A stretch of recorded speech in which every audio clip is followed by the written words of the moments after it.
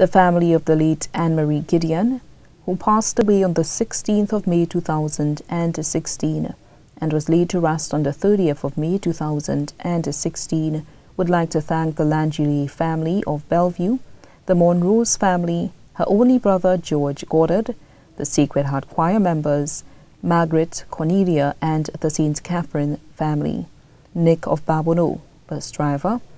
Thanks to everyone who came from near and far. Once again, we thank you.